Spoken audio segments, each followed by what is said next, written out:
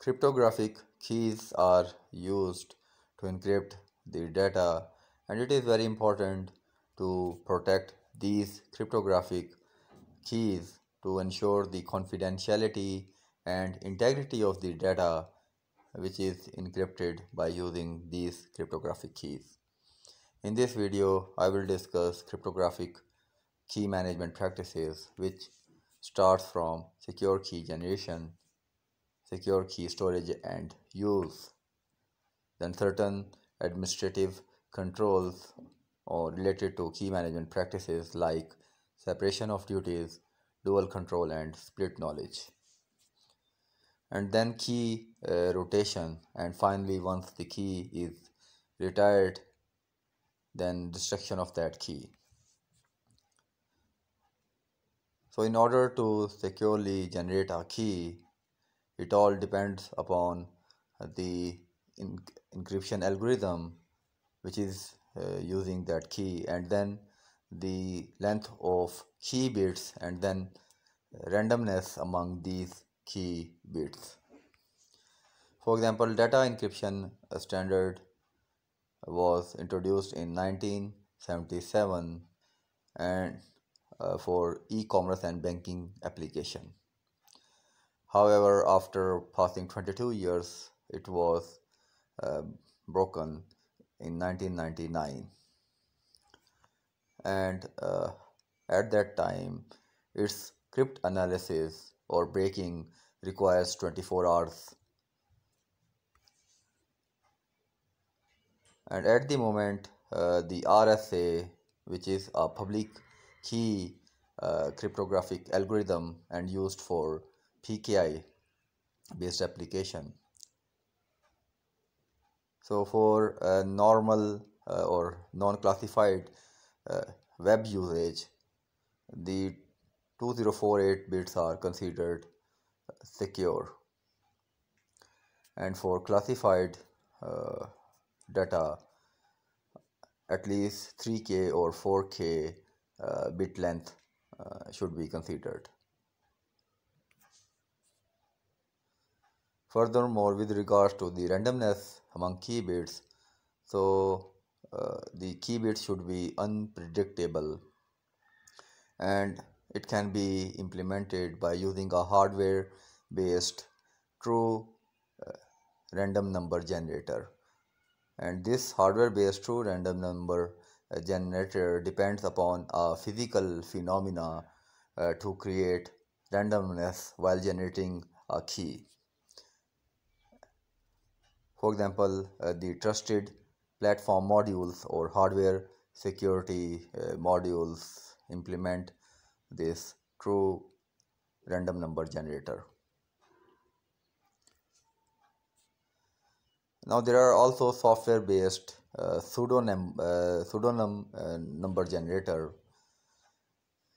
but since it is software based therefore it is prone to defects. For example, OpenSSL package, uh, there was a vulnerability in 2008. So overall, uh, the with the increase in the computation power and uh, with advancement in quantum computing, uh, there should be a relative increase in the key length because uh, due to the large computation availability these keys can be brute forced. Now with regards to key storage and usage the data encryption key uh, must be encrypted or secure by using the key encryption key. So the key which is used to encrypt the data is further further encrypted using key encryption key.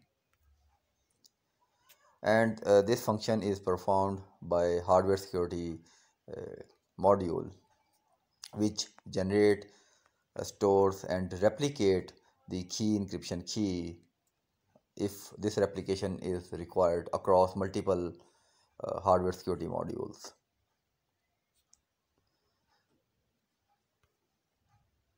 Furthermore, certain compliance requirements also wants that uh, there should be a hardware based uh, key backups or key generation processes.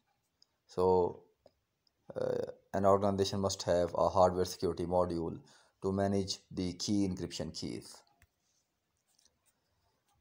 And furthermore, on cloud, uh, there is also certain hardware security model uh, modules, a service which performs the uh, can perform the key escrow services or crypto based uh, or crypto acceleration of encryption and decryption processes which uh, speeds up uh, this encryption processes.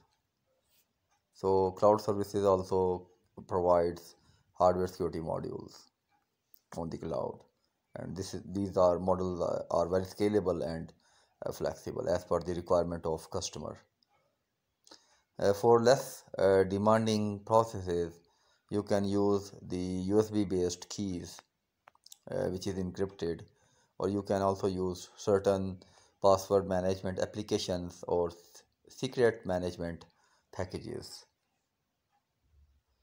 Now with regards to the administrative controls on key management practices the purpose of these controls is uh, to counter the insider threat of a rogue or disgruntled employee or maybe the, the human error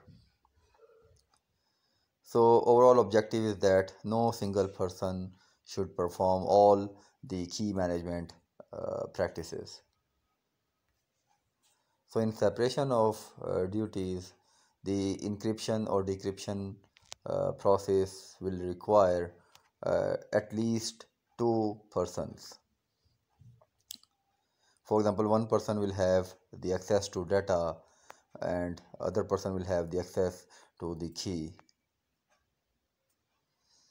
or maybe the uh, system admin may be uh, using the system functions but cannot tampered with the system activity logs or uh, is log server.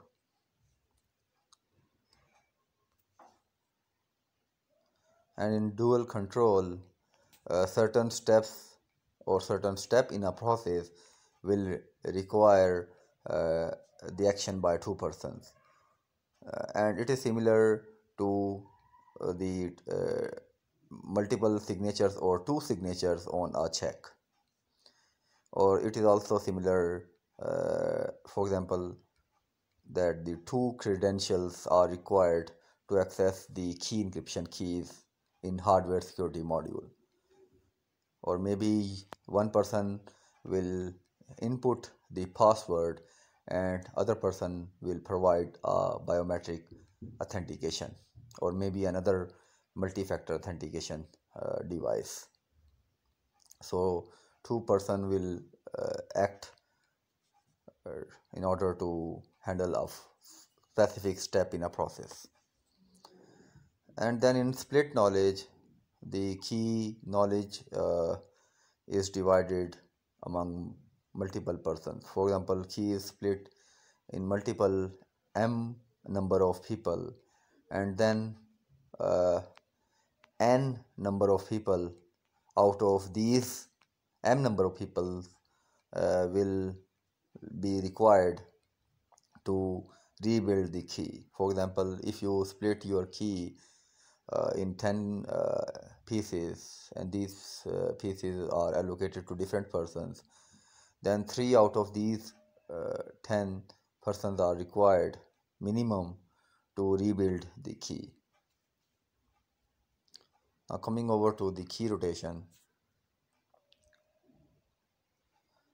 So key rotation is performed uh, periodically uh, to limit the time span of a key usage or it is also performed if a compromise is detected or it is also performed once the uh, HR which is employed on key management practices gets changed. So the overall objective of key rotation is to minimize the impact of key uh, loss or unauthorized key usage and also to make less data uh, available for cryptanalysis. For example, if the same key is used to encrypt the entire data all the time, then more data will be available uh, to detect certain uh, patterns for cryptanalysis uh, or to or to break that specific uh, key.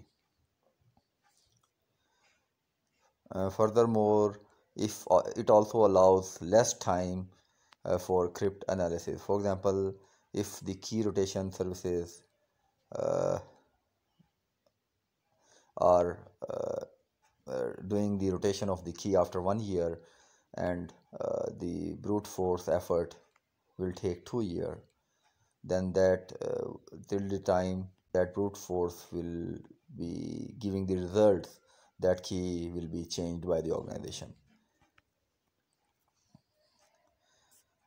Furthermore, uh, certain uh, NIST standard and PCI DSS compliance requirements also requires the key rotation uh, per year minimum. So all uh, the previous data is decrypted using the retired key and then re-encrypted using the new key. And once it is uh, ensured that no data is left which is encrypted by the old key then that old key is retired